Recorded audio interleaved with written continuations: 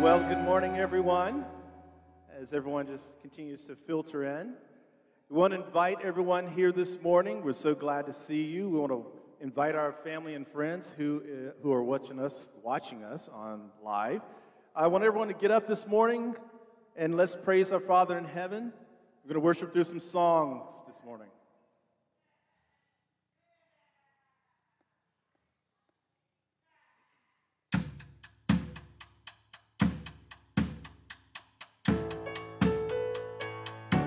Going this morning. Come on. I guess we're missing a few people. We get our guitarist up here, our guy from Media Shout. Give you a few moments to get ready here.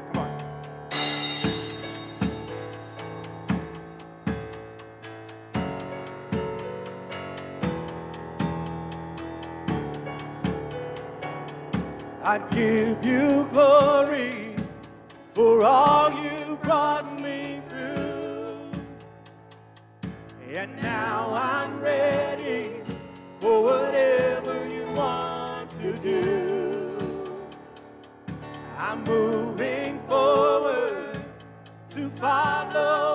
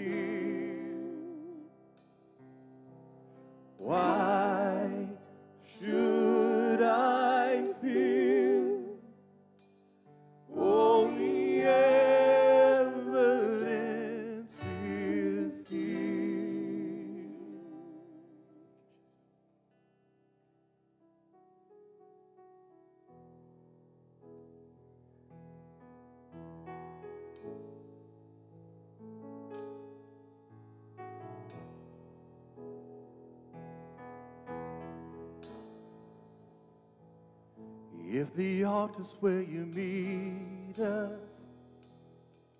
take me there, Take me there. What you need is just an offering. It's right here. My life is here. And I'll be a living sacrifice for you. You're a fire, the refiner. I want to be consumed. I want to be tried by fire. Purified. You take whatever you desire. Lord, here's my life. I want to be tried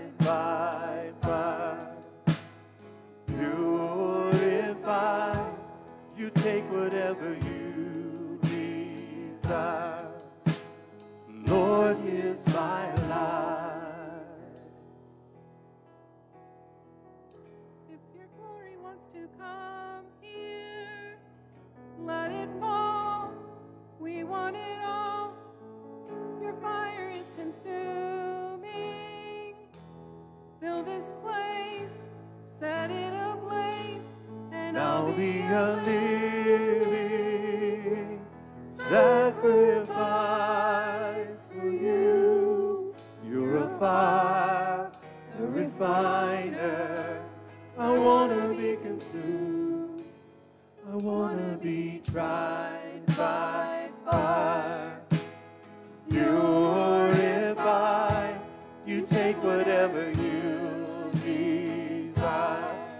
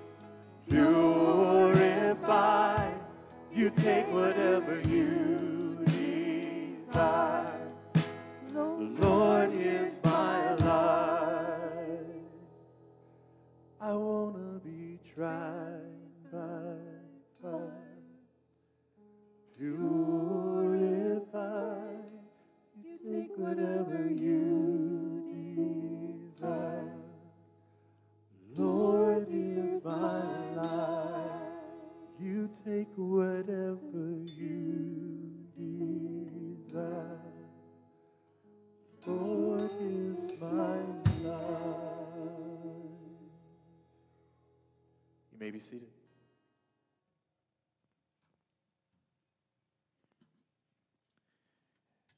As you probably know, um, this week, Washington County schools start. I guess tomorrow they start.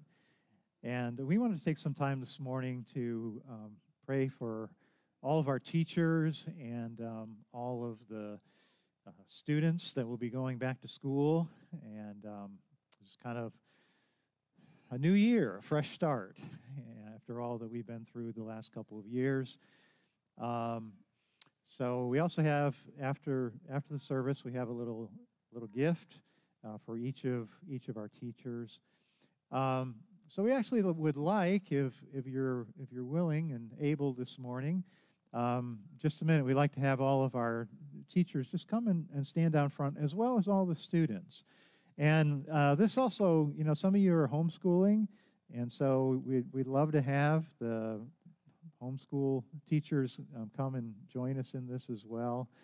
So, uh, and we would just like to spend some time uh, praying over our teachers. And Pastor Kevin is also going to lead us in a prayer for the families of the tragedy that took place in Clear Spring this week. And um, so, if could we have the our teachers come and just stand here, as well as all the students, just just gather around this morning, and any of our teachers and students, we'd really like to pray for you guys this morning.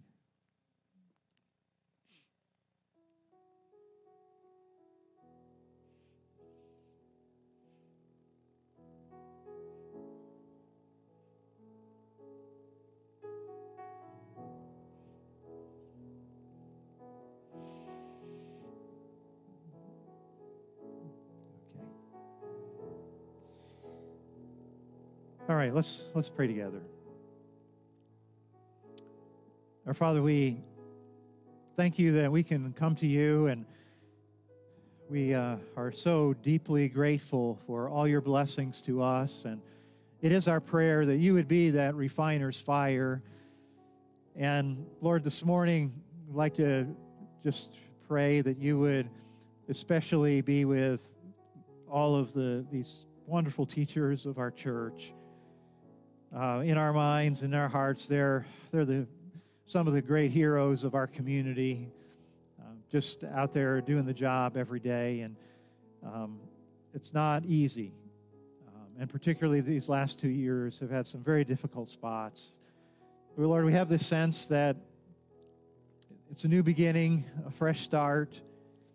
And Lord, we pray for your strength and wisdom and great blessing on uh, each of these who will be involved in this awesome and great responsibility of shaping the hearts and minds of the young people of our community.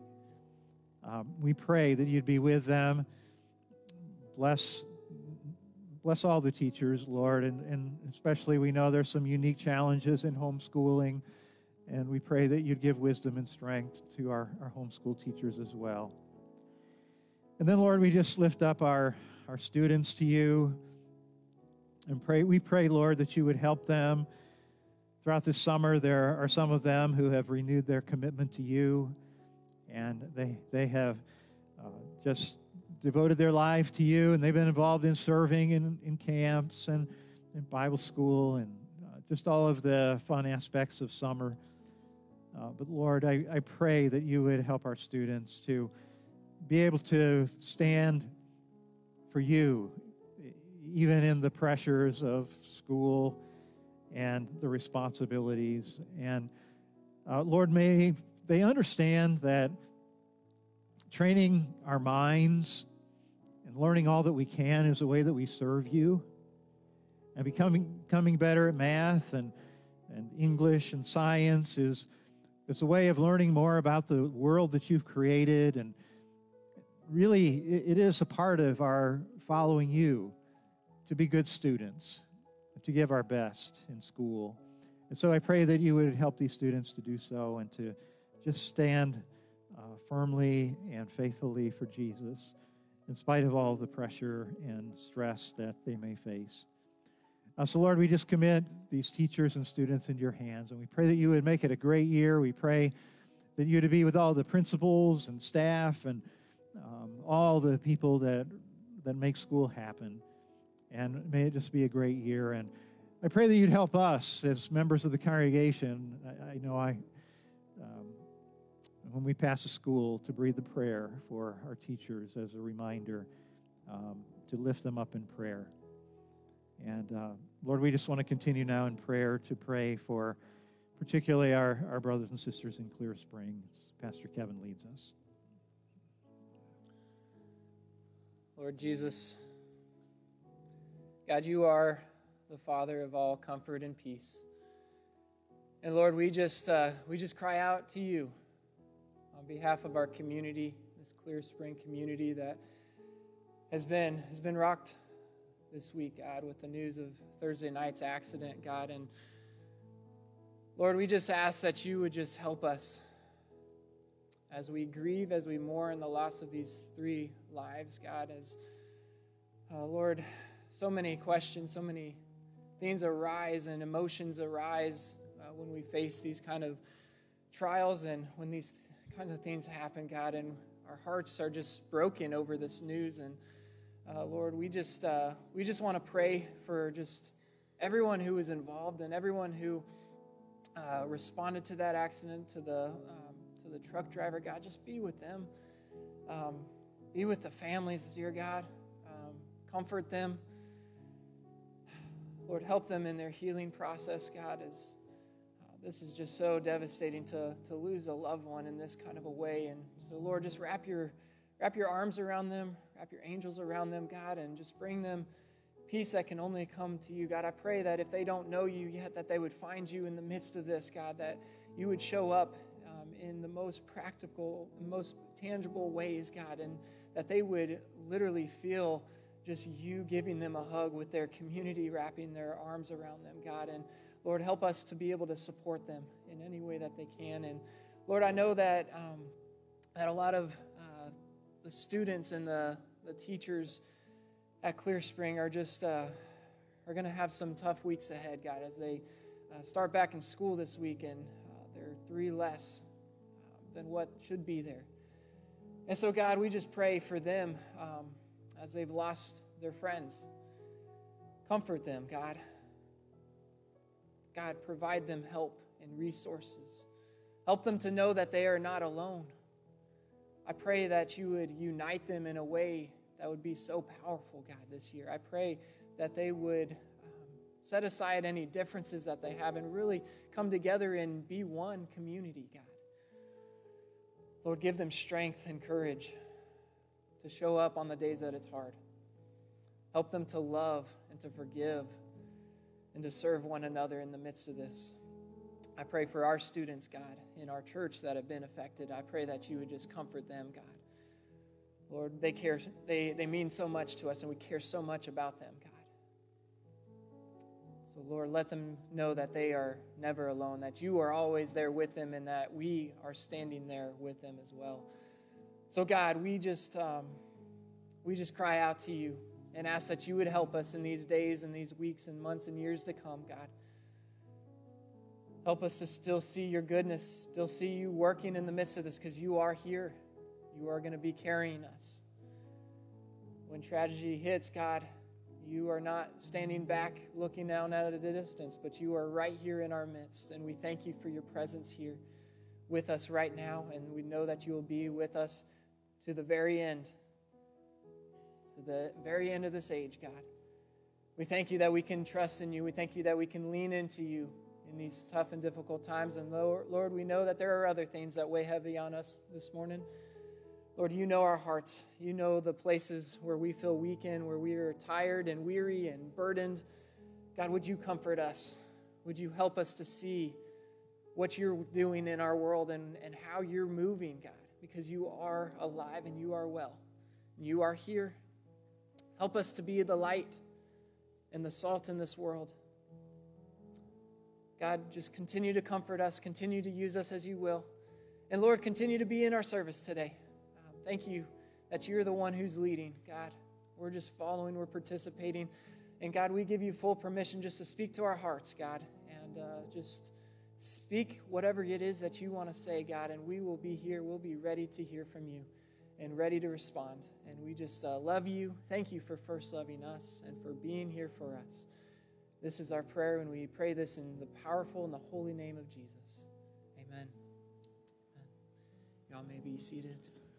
All right, we're going to go ahead and um, dismiss our children now to go to uh, children's church, and our teens are helping out with the kids this morning. So we appreciate the teens getting busy working with our children. And uh, Keith Little is going to share some announcements with us. Good morning, church.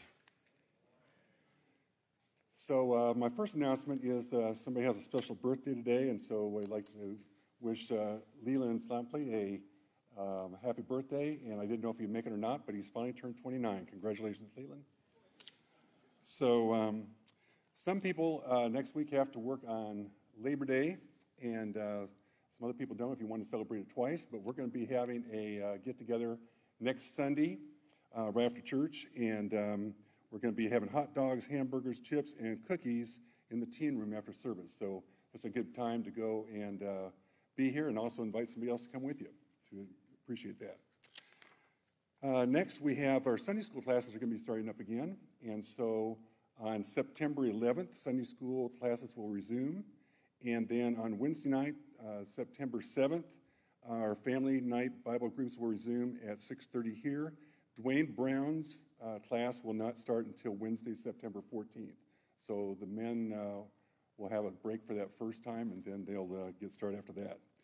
We also have a simulcast coming up for the women. That'll be on September the 24th. And so to attend, women need to register by September 9th. And uh, this is going to be Priscilla Shirer uh, going beyond simulcast.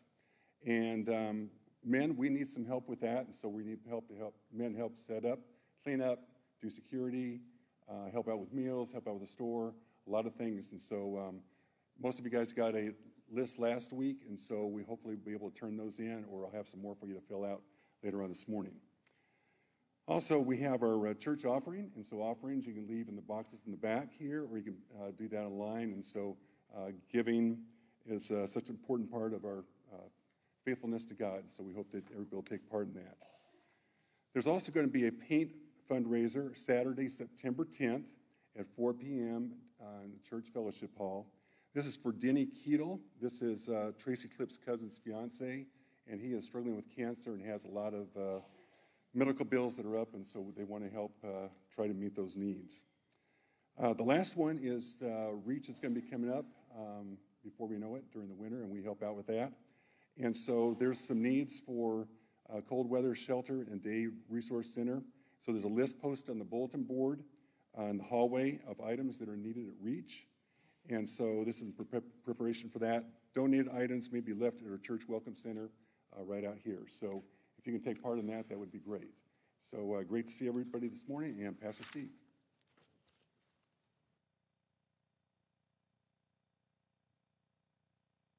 Okay, well, if you'd like to take your Bibles, um, turn to Matthew chapter 25, verse 14. We want to say welcome to those of you who are guests with us today. It's so great to have you uh, worship with us today.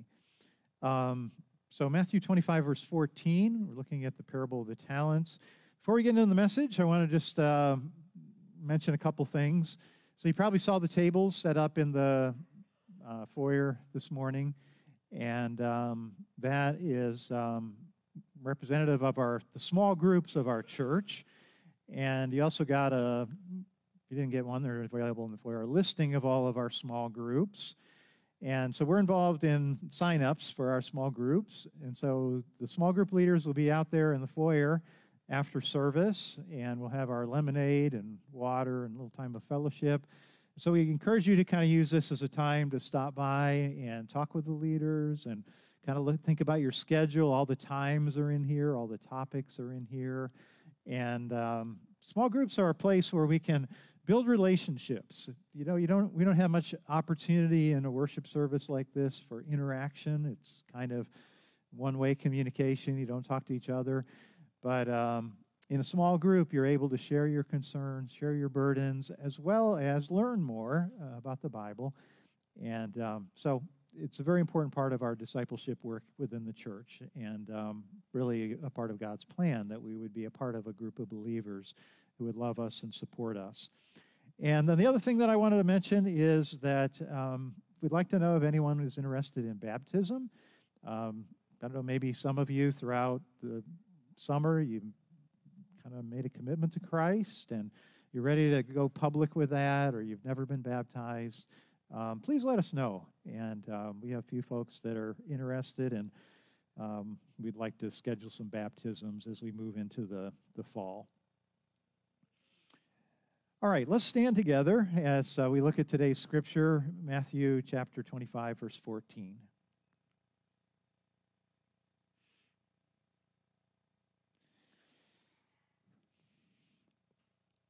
Again, it will be like a man going on a journey who called his servants and entrusted his wealth to them. To one he gave five bags of gold, or in your version, it might say talents. Talent was a huge sum of money. We'll talk more about that in a minute. To one he gave five bags of gold, to another two bags, and to another one bag, each according to his ability. Then he went on his journey. The man who had received five bags of gold went at once and put his money to work and gained five bags more. So also the one with two bags of gold gained two more. But the man who received one bag went off, dug a hole in the ground, and hid his master's money. After a long time, the master of those servants returned and settled accounts with them. The man who had received five bags of gold brought the other five. Master, he said, you entrusted me with five bags of gold. See, I have gained five more. The master replied, Well done, good and faithful servant. You have been faithful with a few things. I will put you in charge of many things. Come and share my master's happiness. The man with two bags of gold also came. Master, he said, You entrusted me with two bags of gold. See, I have gained two more. His master replied, Well done, good and faithful servant. You have been faithful with a few things. I will put you in charge of many things. Come and share my master's happiness. Then the man who had received one bag of gold came. Master, he said, I knew that you were a hard man, harvesting where you had not sown, and gathering where you had not scattered seed. So I was afraid, and went out and hid your gold in the ground. See, here is what belongs to you. The master replied, You wicked, lazy servant. So you knew that I harvest where I have not sown and gather where I have not scattered seed. Well then, you should have put my money on deposit with the bankers, so that I return when I returned, I would have received it back with interest. So take the bag of gold from him and give it to the one who has ten bags. For whoever has will be given more and they will have an abundance. Whoever does not have, even what they have, will be taken from them. And throw that worthless servant outside into the darkness, where there will be weeping and gnashing of teeth. All right, you may be seated.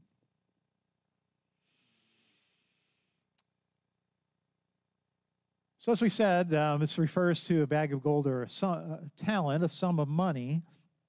What I'd like to do to kind of start out this morning is whenever we read the scripture, we always want to put it in its context. And so, in order to interpret this, we have to like go back and say, okay, what's the context? What was going on here?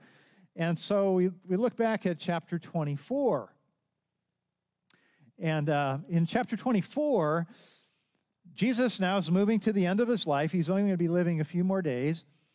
And um, he's going out of the temple, and he says, there's these huge buildings. In fact, the temple was like one of the wonders of the world at that time. It was like one of the most beautiful buildings in the whole world. And he, he says to his disciples, um, Do you see all these things? Um, truly, I tell you, not one stone here will be left on another. Every one will be thrown down. So Jesus kind of starts this conversation about what's going to happen in the future. And as he's preparing to be crucified, he says, This beautiful temple that you see, it's all going to be destroyed. A little later, they're up on the Mount of Olives, and the disciples ask him a kind of a follow up question. Tell us, they said, when this will happen, and what will be the sign of your coming and the end of the age. Now, a little bit later in this, this passage, so now we're down in verse 34, Jesus says, Truly I tell you, this generation will certainly not pass away until all of these things will uh, have happened.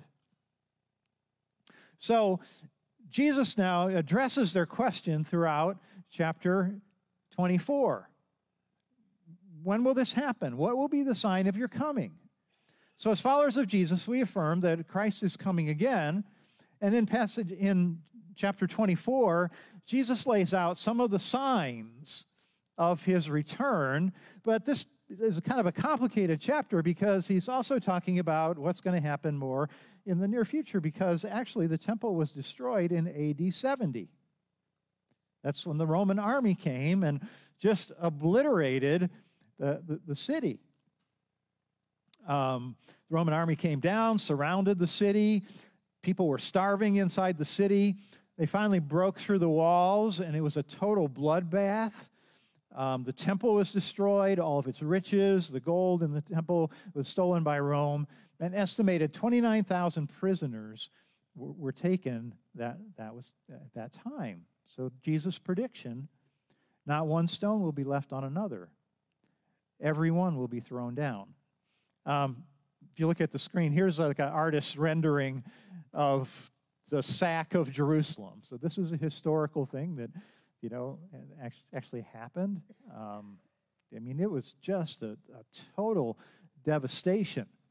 And so this is part of what Jesus is talking about and predicting here. And so what's hard is, on the one hand, he's talking about what happened in AD 70, but then in chapter 24, he's also talking about what's going to happen in the future when he, when he returns. So it's a little bit difficult to distinguish. Well, is he talking about AD 70 or is he talking about you know, the destruction of the temple or is he talking about what's going to happen when he returns? But he gives us these signs. And in fact, there's like a, there's a whole list of signs, and it kind of reads like our newspaper headlines. So this is just briefly, this is what Jesus said. Here's the signs that Jesus is coming uh, again soon. He talks about wars and rumors of wars. He talks about famines, earthquakes, the persecution of Christians, the increase of wickedness, um, the gospel being preached to the whole world. And he says it'll be a time of great distress, unequaled from the beginning of the world until now, and never to be equaled again. So we look around at our world and what's happening in various places, and could be taken right out of our, out of our headlines, couldn't it? So, um, and then, then Jesus said, so after when you see these signs, this is down in verse 30, all the people will see the Son of Man coming in the clouds of heaven in power and great glory. I mean, he'll set right all of the wrongs of this world. The dead in Christ will rise. Will be given new bodies and um, will be made new. So it's not surprising that when we look at this list of some of the signs, that many see how these signs are lining up in our day. There's a feeling, certainly that, that I have, that the second coming of Jesus must be getting close. Seems like, you know, this, this list is becoming more prominent.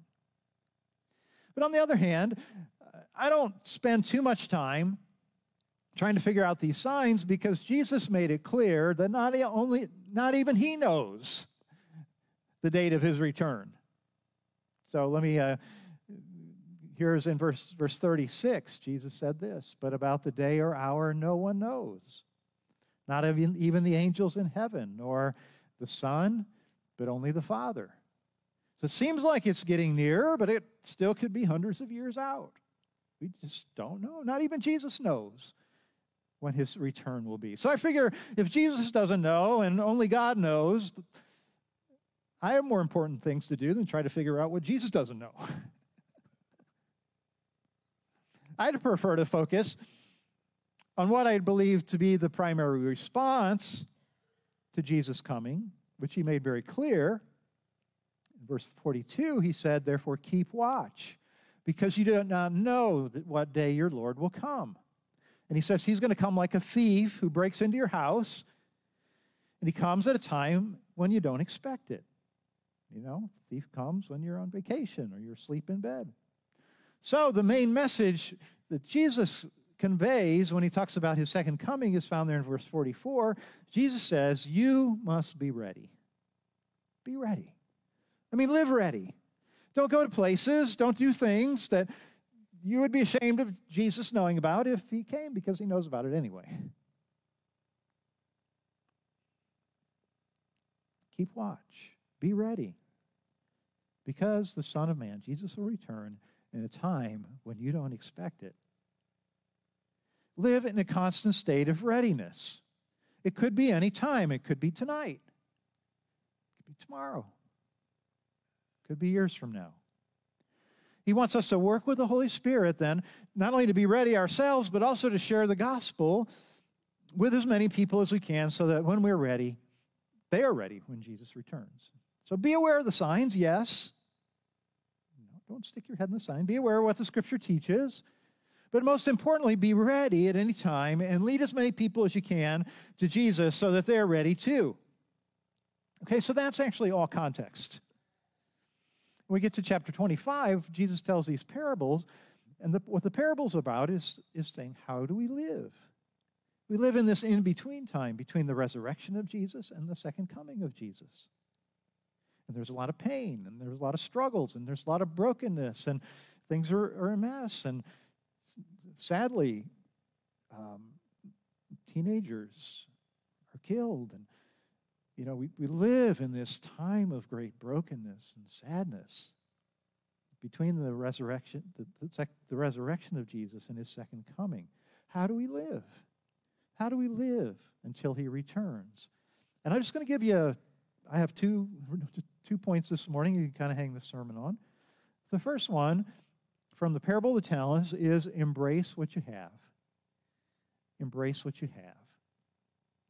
So in Jesus' parable, the wealthy master is, going to go, is going away, and he gives a portion of his wealth to each of his three servants to care for in his absence.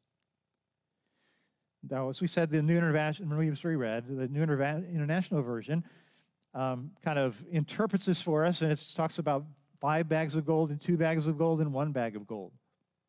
Other versions say five talents, two talents, one talent. So, what's a talent? Well, we kind of know how we use the word as sort of our different abilities, but uh, and and that this passage includes that. But a talent was a sum of money. It was a very large sum of money. It was equal to, and some of you might have a footnote in your scriptures that point this out, about 20 years of a day laborer's wages. 20 years' wages is a talent. And that was like very, very valuable. So I don't know. How much does a day laborer make? Well, I don't, I don't really know. You know, let's say, let's just pick a number, $35,000. Okay.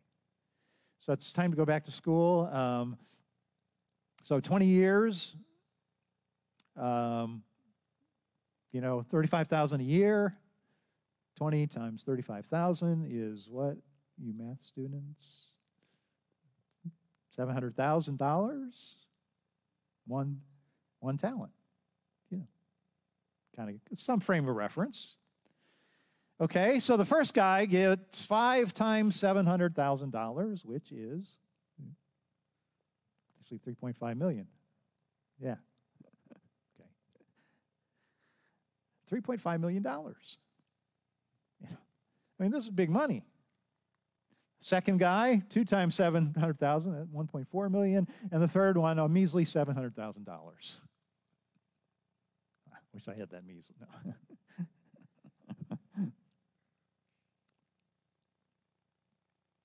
so this is a story Jesus tells. what's the meaning? Well, we're the servants. You and I are the servants. And we've been entrusted with resources. You know, I mean, you drove here today, you filled up your gas tank, and you got some money, some resources. It's not just our resources, it's broader than that. It's our abilities, our knowledge, the things that we've learned, our relationships, our possessions. It's all that God has entrusted to us in life. You know, we only, we only have it for a certain number of years, right? Can't take it with you. Now, it's important to point out in, the, in this story that the master is not God. The master isn't the God figure in this story. Rather, he's like an imperfect earthly boss. And he entrusts this huge wealth to his servants. Jesus' idea is that if an imperfect earthly boss trusts his servants with his wealth, how much will our loving, perfect Heavenly Father entrust us with his resources? Five talent, two talent guy, they get to work. They invest their master's funds wisely. I don't know what they did. They started businesses. Uh, they, they provided capital. Uh, I don't know. I don't think they had the stock market back then. But anyway, they, they, they invested it. And um, but the one town guy, he digs a hole. He's afraid of losing his master money. He, dig, he digs a hole in the ground, buries the money. He doesn't want to do anything that would put his money at risk. So the parable then prompts us to ask what do you have that you need to embrace?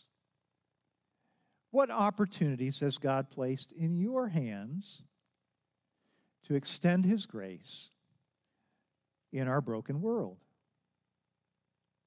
Now, the truth is, every Christian has something God has given them to accomplish His purposes in the world. We all have different talents, but there are no zero talent Christians. You say, no, I could do, I couldn't do anything. No, I don't, not me. That's not true. There are no zero talent Christians. Might have five, might have two, might have, maybe only have half. I don't know. But no zeros. There are no zeros in Christ's kingdom. So we've been given these various resources in order to further God's purposes in the world to make it a better place. But what are his purposes? Well, we go down again in the context, if we go down to verse 35, there's, Jesus tells another parable that we don't have time to get into. But he says that one of the things that's going to count with God at the end of the time of judgment Actually, the first one he says, I left it off the list. Did we feed the hungry? Did we give water to the thirsty? Did we welcome to the stranger? And the word that Jesus uses can also mean foreigner. Did we clothe those who had none? Did we look after the sick? Did we visit those who were in prison? So Jesus said, This is my work. It's what I've called you to do. There's some other key verses throughout the, the Gospel of Matthew. Uh, Matthew 24, verse 14 says, And this gospel of the kingdom will be preached to the whole world as a testimony to all the nations, and then the end will come. So it's sharing the gospel, telling the good news of Christ. That's, that's his purpose. That's why we're here. That's what he wants us to use our gifts and abilities to do. And then Matthew 28, the, call it the Great Commission make disciples Baptize them. Teach them to obey everything that I have commanded you. Embrace what you have. What are the unique gifts and abilities that God has given you to accomplish His mission of feeding and giving water and welcoming and clothing and healing and visiting and sharing the gospel and making disciples? What's your part in Christ's endeavor? Embrace what you have. Second one, embrace the responsibility. I'm going to say take the risk. They kind of go hand in hand. So the first two servants, with their five and two bags of gold, decided to embrace the responsibility given them to the master. They took the risk, they invested what they had entrusted to them. I, I have a pastor friend who surprised me when she said recently that when she was a little girl, she loved going to her big brother's baseball games. Surprised me because I never heard a little sibling say they love going to their, you know, big siblings' um, games. But then she clarified that it wasn't that to watch her brother play that she loved, but it was the stack stand that she loved. and she went on to tell how whenever she went to her um, brother's baseball game, uh, her mom and dad would give her a little bit of money. And so she could go to the snack bar. And she said she, she always bought some Jolly Ranchers. I don't know. You could get a few of them for a quarter. Anybody like Jolly Ranchers? I love the watermelon. The watermelon is my favorite. Okay. so she would, she would, you know, get her quarter. You know, you could get some Jolly Ranchers, and and then her brother would also get a, a quarter, get a quarter, and after the game they'd buy some Jolly Ranchers. But they didn't eat them. They didn't eat them. They'd stick them in their school backpacks, and they'd wait and until they were on the bus on the way home, and the kids were hungry. And then they jack up the price and sell them on the bus for 50 cents, what they had bought for 25 cents, double their money. That was a great business. And they, you know, then they take their proceeds and kind of re, reinvest and buy some more. It was going good until one of the kids like told their mom and dad what they were doing, and their mom and dad shut them down and said, "No, you're not going to price gouge your classmates." Couldn't do it anymore. it was a great story. My, my friend was was telling, and well, again, we don't know. The first two servants started a business, and they made some wise investments. We don't know what, what they did, but they doubled their money. Just like my fast pastor friend did as a girl. And while the five and two talent guys were going to work, they were busy. The one talent guy was digging a hole, hiding his master money in it. Now, what he was doing wasn't necessarily sinful, but it was, it was done out of fear. He was cautious, he was playing it safe. He was unwilling to embrace the responsibility and take the risk. In fact, he blames the master for his decision to bury the master's money. I knew you were a hard man, he says. Um, you're a, you're a businessman, you're a tough guy.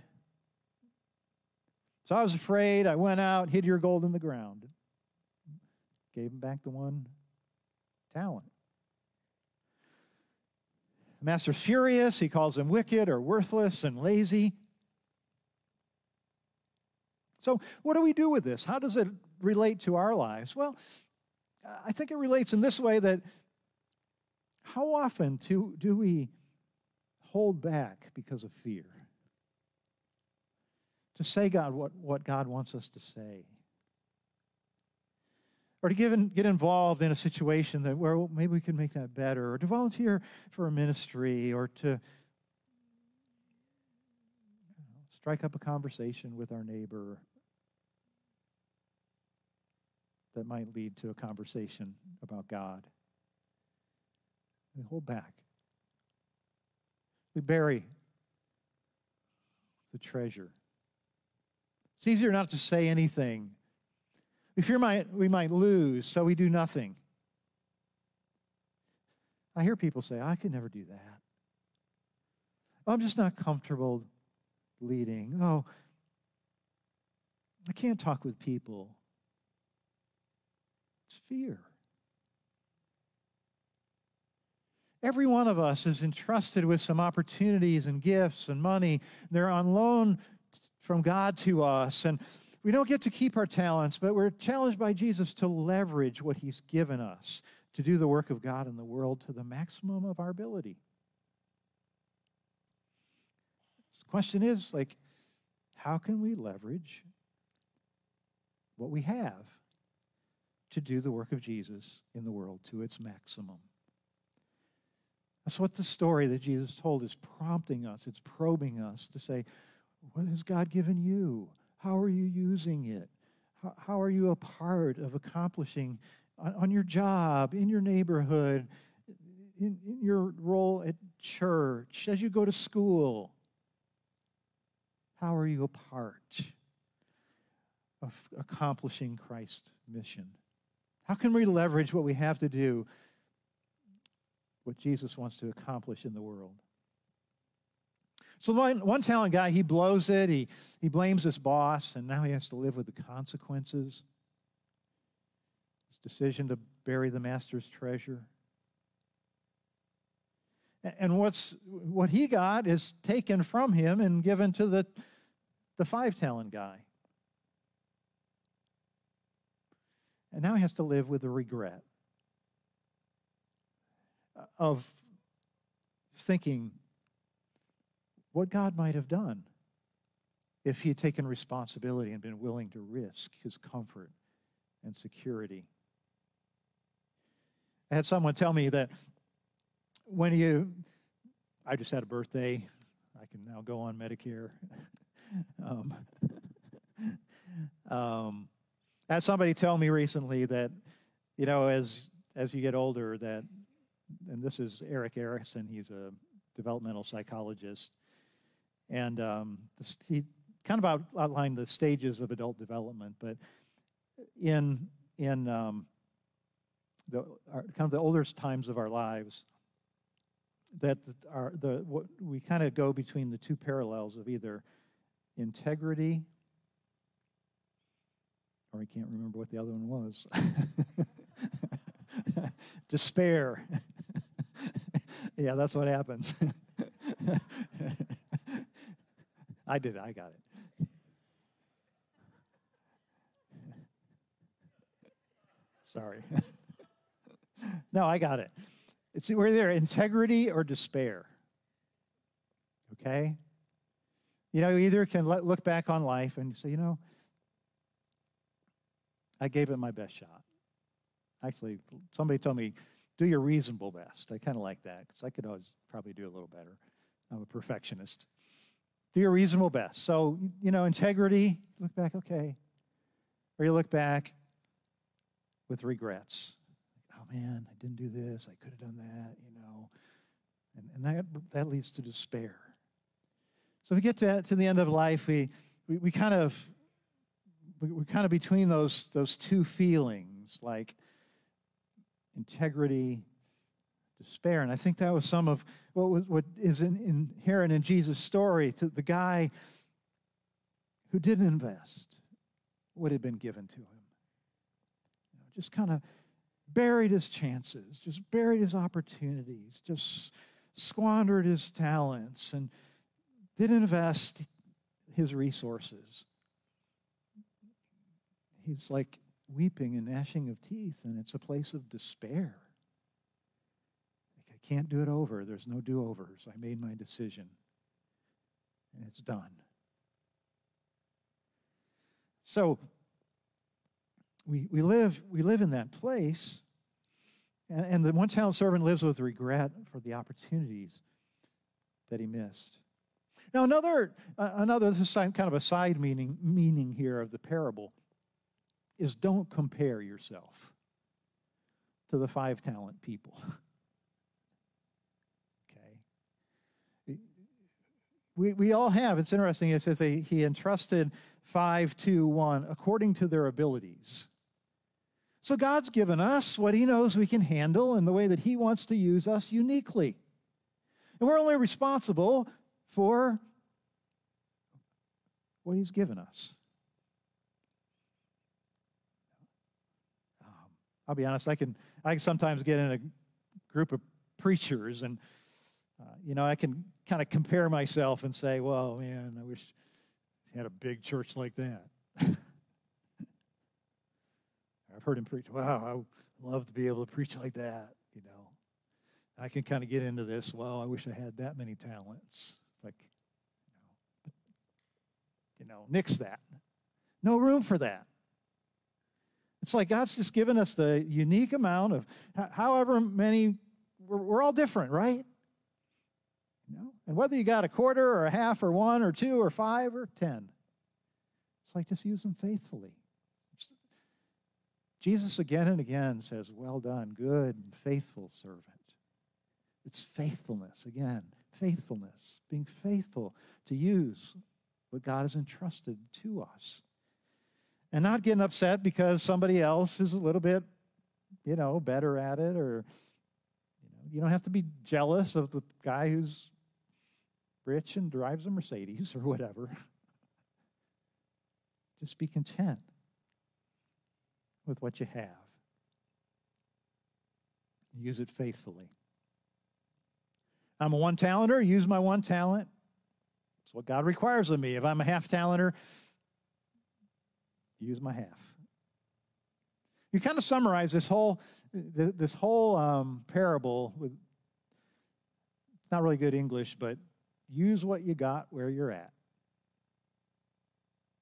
Use what you got where you're at. Step out.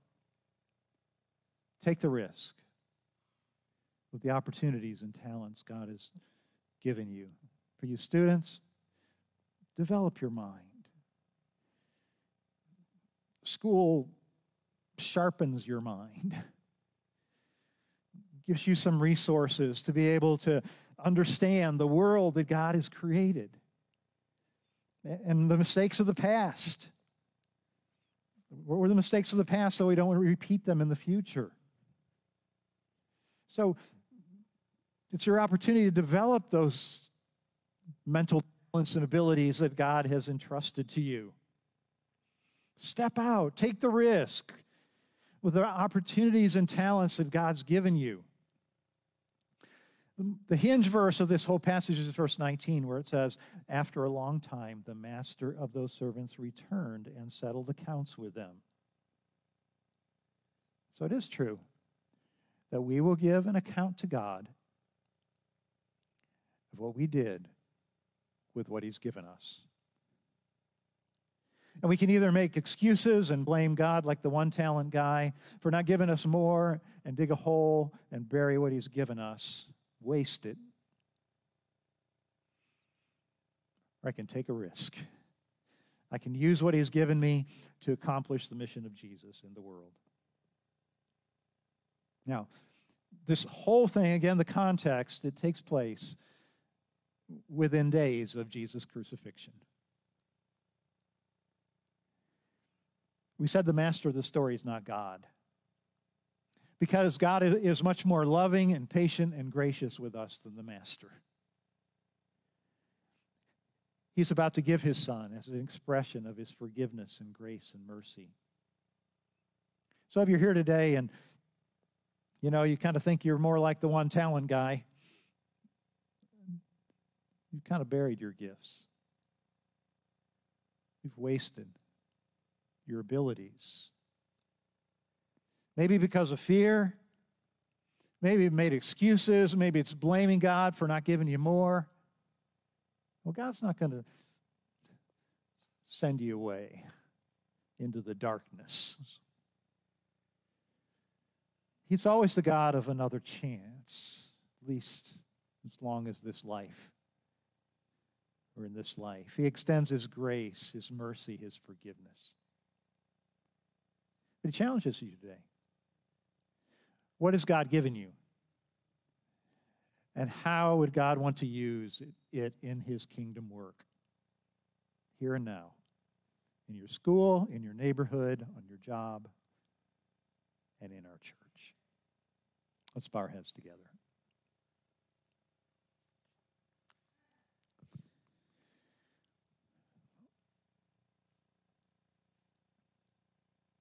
Lord, we thank you today that you are God who trusts us with your work in the world. Thank you that you trust us with, with money. You trust us with influence. You trust us with families, relationships. Their belongings, with our minds.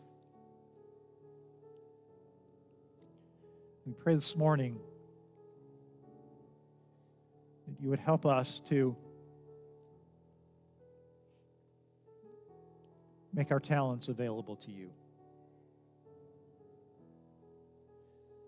Don't let us give in to fear.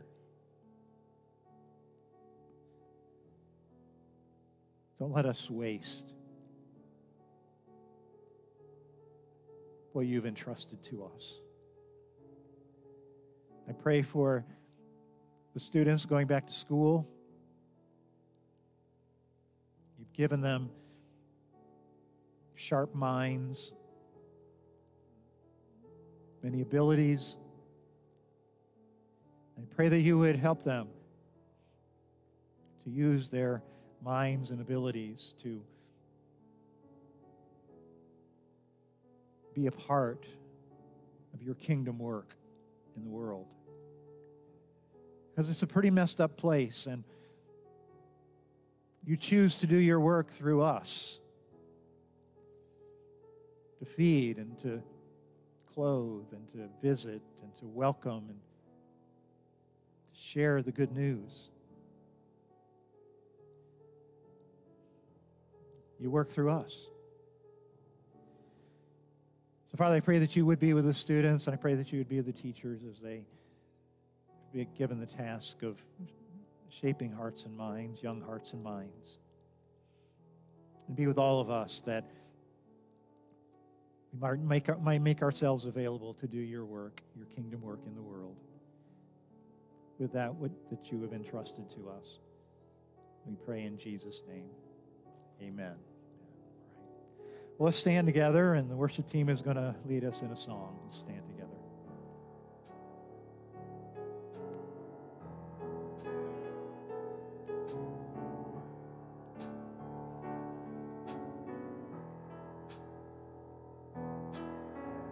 Our Father everlasting, the all created one, God Almighty.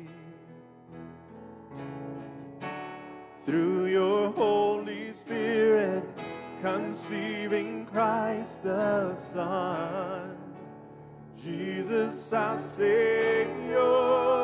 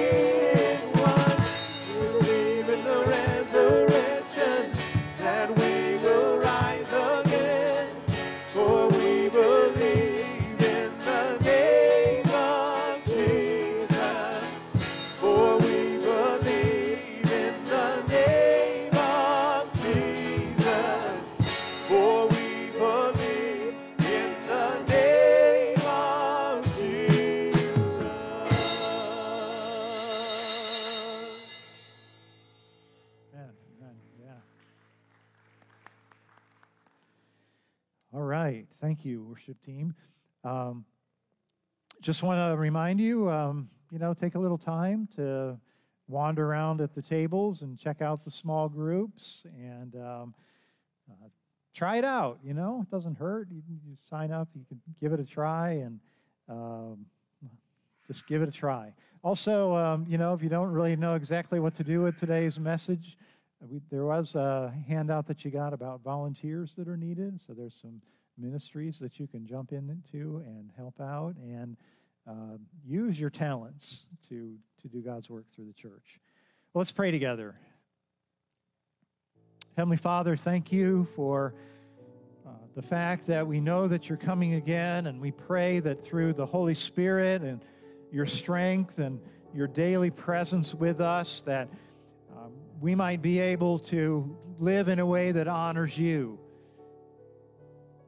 We begin a new school year, as we uh, move back into some of the routines of life, we ask, Lord, that your Spirit would go before us and give us strength, and we might rely on the precious presence of Jesus. We can't do your work by ourselves, Lord. We rely on your Holy Spirit. You are the one that gives us strength and the wisdom to carry out your purposes in the world. And Lord, you need a people in this day who will faithfully let Jesus shine through them by his Spirit. And Lord, may we be those people. May we be those people through which you can shine, which you can bring healing and life and peace to our world. We pray in Christ's name. Amen. Amen. We believe in God